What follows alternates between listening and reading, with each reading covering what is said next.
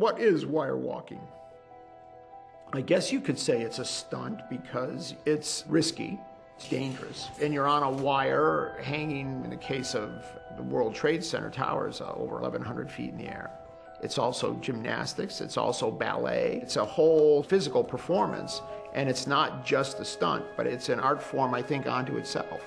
So it's really interesting in that regards. In terms of putting people high up in the air on a high wire, in movie terms, it's stunt work, but in reality, it's really ballet. The thing that was magnificent about Joe is that he wanted to immerse himself in all things Philippe. I'm not only here to learn how to be a wire walker from you, I'm learning how to tell your story. Philippe not only taught him how to walk on the wire, but taught him magic tricks and juggling. And of course, when I talked to Joe about this, he said the thing that I enjoyed about this more than anything was just to be with Philippe for all those days and just get a feel of who this guy was. And of course, that was all of his prep for the character. It was a serious challenge, but I, I like a challenge. Since we started working with a line on the floor, Yeah.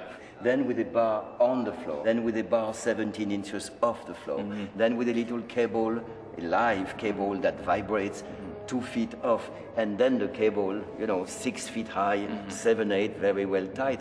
Did you feel this move from an inanimate object, the ground, bar, they're dead, mm-hmm. metal, mm-hmm. to uh, the life of the cable? Yeah, it's very different. After this even brief amount of time, what I've learned is the balance comes much easier being in motion.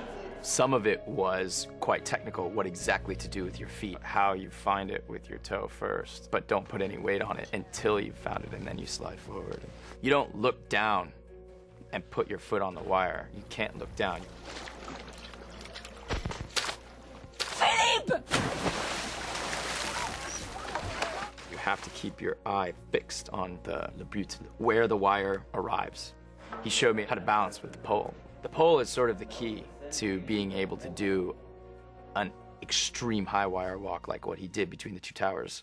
It's not natural using that thing, but once you learn how to do it, it becomes natural. He was teaching me how to walk on a wire, but what he was teaching me was much broader than that. For him, that balance is a metaphor for his whole approach to life and creativity. This is one of my favorite pieces of, of wisdom from you. I heard you say, I never fall. I jump because it's a decision. You never want to keep fighting the balance until the point where you really lose control. If you see that you are having a problem, then you make a decision before it's too late and you deal with it. Mm-hmm. Either you jump to the mat, or mm-hmm. if you're on the high wire, you, like you taught me, you kneel down, you do something about it.